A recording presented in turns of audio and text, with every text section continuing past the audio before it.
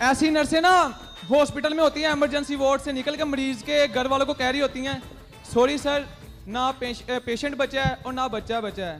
Fruit बचे खा ला।